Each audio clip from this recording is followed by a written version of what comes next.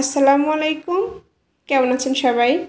আবারও চলে আসছি নতুন আর একটা ভিডিও নিয়ে। আমার টাইটেল অথবা থাম্বেল দেখে বুঝে গিয়েছেন আমি কি ভিডিও নিয়ে এসেছি। অনেকেই আছে গ্রাম অঞ্চলে বসবাস করেন, কাদামাটিতে অনেক বেশি হাঁটাচলা করতে হয়। তাদের বিশেষ করে পায়ের আঙ্গুলে নখকুনির সমস্যা হয়ে থাকে। এতে কিন্তু নখ পেকে যায়, নখ ফুলে যায় এবং যন্ত্রণাদায়ক বিভিন্ন সমস্যা হয়ে থাকে। অনেকে আবার হাতেও এই সমস্যা হয়ে থাকে। শুধু কাদামাটিতে হাঁটলে যে সমস্যা হয় সেটা না।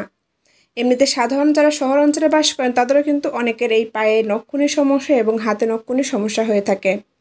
আজকে আমি এমন একটা রেমেডি তৈরি করে দেখাবো, যেটা আপনারা পুরোপুরি অবাক হয়ে যাবেন।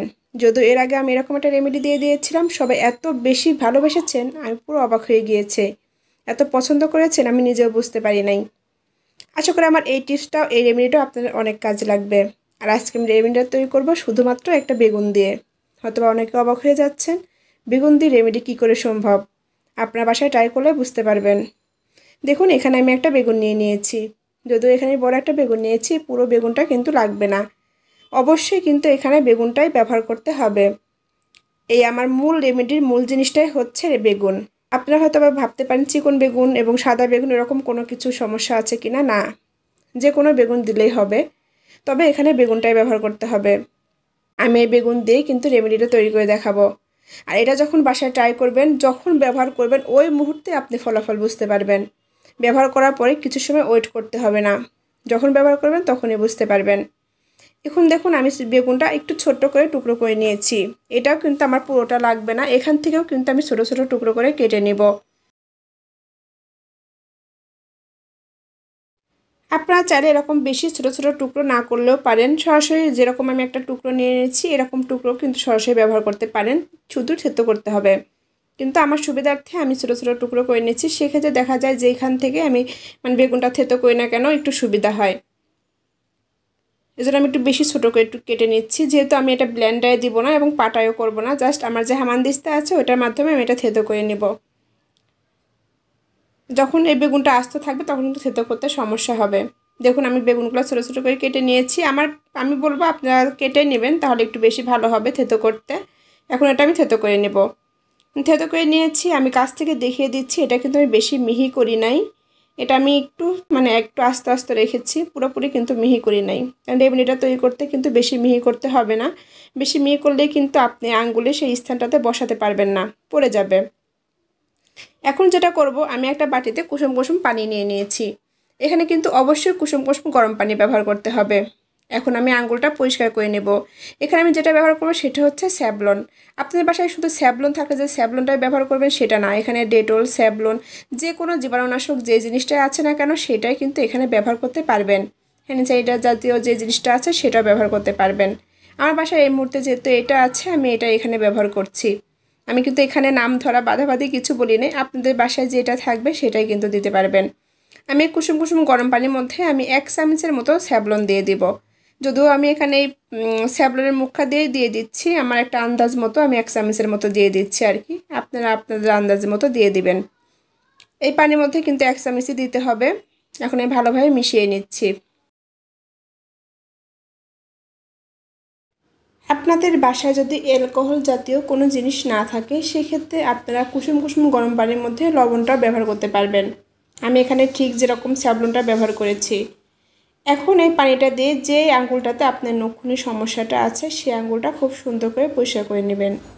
আমি যেভাবে চামিচ দিয়ে এভাবে পানি ঢালছি, আপনার যদি অনেক বেশি ব্যথা থাকে, সেক্ষেত্রে আস্তে আস্তে পানিটা এরকম করে ঢালবেন।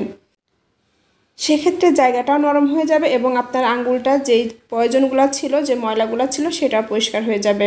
যদি মনে করেন এখানে এভাবে সমস্যা হচ্ছে, সেক্ষেত্রে পাশে যদি কোনো তুলা থাকে, তুলাটা এই পানির মধ্যে ভিজিয়ে খুব আস্তে আস্তে করে কিন্তু পরিষ্কার করে নিতে পারেন। তারপরে শুকনা টিস্যু অথবা সুতি কাপড় দিয়ে আঙ্গুলটা খুব সুন্দর করে মুছে নেবেন মানে শুকনো বানিয়ে নেবেন। এখন আমি যে বেগুনটা থেতো করে রেখেছিলাম, এখন সেটা দিয়ে আমি মেন রেমেডিটা তৈরি করে দেখাবো। দেখুন, আমি বেগুনটা একটু কাছ থেকে দেখিয়ে দিচ্ছি আবারও। আমি কিন্তু বেশি ভালোভাবে থেতো করি নাই, একটু কিন্তু আস্তে আস্তে রেখেছি। এখন যেটা করব, একটা চামচ আমি সরিষার তেল নিয়ে নেব। এই সেম কাজটা আপনার স্টিলের কোনো বাসনে, কোনো পাতিল অথবা বাটি, কোনো কড়াই, এরকম কিছুতে কিন্তু করে নিতে পারেন। যেহেতু আমি একবার ব্যবহার করার মতো একটা রেমেডি তৈরি করব, সেক্ষেত্রে এখানে আমার হাফ চামচের মতো সরিষার তেল লাগবে। এজন্য আমি আর কোনো বাটি, কোনো পাতিল, কোনো কিছু তার নাড়াচ্ছি না। আমি এই চামিচটা সহ আমি চুলার উপরে দিয়ে দিব। মেন কথা হচ্ছে এই সরিষার তেলটা আমি গরম করে নেব। চুলার উপরে জাস্ট কয়েক সেকেন্ড যদি আপনি চামিচটা এভাবে ধরে রাখেন, দেখবেন সরিষার তেলটা পুরোপুরি গরম হয়ে গিয়েছে। এখানে কিন্তু তেলটা একদম পুরো গরম করে নিতে হবে।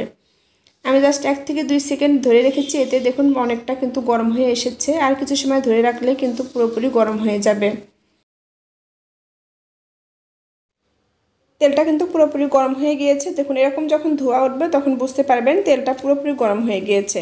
এখানে কিন্তু তেল পুরোপুরি গরম করে নিতে হবে, আমি বারবার বলে দিয়েছি। তারপরে এখানে যে আমি থেতো করে রেখেছিলাম যে বেগুনটা, সেই বেগুনের মধ্যে আমি তেলটা দিয়ে দিব। আমার বেগুনের মধ্যে যখন তেলটা দিয়েছি, তখন হয়তো দেখে বুঝতে পেরেছেন এটা কত পরিমাণ গরম। যখন আপনি পুরোপুরি মিশিয়ে নেবেন, তখন কিন্তু এত গরম থাকবে না, তখন কিন্তু একটা কুসুম কুসুম গরমে পরিণত হবে। আমি এই থেতো করা বেগুনের মধ্যে তেলটা খুব ভালো করে মিশিয়ে নিচ্ছি। আমার রেমেডিটা কিন্তু তৈরি হয়ে গিয়েছে। এখন আমি আপনাদের বলে দেবো এটা কখন কীভাবে ব্যবহার করবেন। আপনার যেই নখে নক্ষণের সমস্যাটা আছে, আপনি রাত্রে পারেন, দিনে পারেন, বিকালে পারেন, যখনই আপনি সময় পাবেন তখনই এই রেমেডিটা তৈরি করে নেবেন। যদি পারেন প্রতিদিন দুইবার করে আপনি ব্যবহার করবেন। যে নখে আপনার সমস্যাটা আছে সেই নখের ওই জায়গাটাতে এরকম এই বেগুনের যে থেতো করা অংশগুলো আছে সেগুলো লাগিয়ে রাখবেন। এটা লাগে আপনি আর কোনো পানির কাজ করবেন না এবং কোনো বেশি হাঁটা চলারও কাজ করবেন না। যেন এই রেমেডিটা আপনার নখের সাথে কিছু সময় হলেও থাকে, সেরকমভাবে একটু বসে থাকবেন অথবা কোনো হালকা কোনো কাজ করবেন। আর রাত্রে যদি ব্যবহার করতে চান, তাহলে ঘুমানোর আগে ব্যবহার করবেন। অন্ততপক্ষে তিন থেকে চার ঘণ্টা রাখার পরে কিন্তু এটা পরিষ্কার করতে হবে। যাদের অনেক বেশি সমস্যা, অবশ্যই প্রতিদিন দুইবার করে রেমেডিটা ব্যবহার করতে হবে। আর এটা অন্ততপক্ষে সাত দিন অথবা দশ দিন এবং বারো দিনও লাগতে পারে। যখন আপনার সাত থেকে দশ দিন এটা রেগুলার ব্যবহার করবেন প্রতিদিন দুইবার করে, আপনি একবার ব্যবহার করেই বুঝতে পারবেন যে এটা কতটা ভালো একটা ফলাফল আসে। আর কিছুদিন পরে যখন দেখবেন আপনার যেই জায়গাটাতে নক্ষণী সমস্যা হয়েছিল সেই জায়গাটাই পুরো মিলে যাবে। আল্লাহর রহমতে এত ভালো হয়ে যাবে, আপনি নিজে অবাক হয়ে যাবেন। আর এই রেমনিটা যখন লাগাবেন, তখনই দেখবেন আপনি কত আরাম একটা অনুভব করছেন। খুবই ভালো একটা আরাম অনুভব করবেন। আর এই রেমনিটা যখন লাগাবেন, তিন থেকে চার ঘণ্টা এরকম রেখে রেমনিটা উঠিয়ে ফেলবেন। উঠিয়ে ফেলে আঙ্গুলের সঙ্গে যে তেলটা লেগে থাকবে, সেটা কিন্তু আর পরিষ্কারও করবেন না এবং মুছবেনও না। এই অবস্থাতে আরও আধা ঘণ্টা থেকে এক ঘণ্টার মতো রেখে দিবেন। তারপরে এই তেলটা আপনি পারলে পানি দিয়েও পরিষ্কার করতে পারবেন অথবা কুসুম কুসুম গরম পানি করে যেরকম প্রথমে আমি আঙ্গুলটা পরিষ্কার করেছিলাম, সেভাবে পরিষ্কার করে নিতে পারবেন। এভাবে অবশ্যই সাত থেকে দশ দিন ব্যবহার করতে হবে। ইনশাল্লাহ আপনার নক্ষণের সমস্যা চিরতরে দূর হয়ে যাবে। আশা করি আমার এই টিপসটা আপনার অনেক কাজে লাগবে। আজ এ পর্যন্তই। সবাই ভালো থাকবেন, সুস্থ থাকবেন। আল্লাহ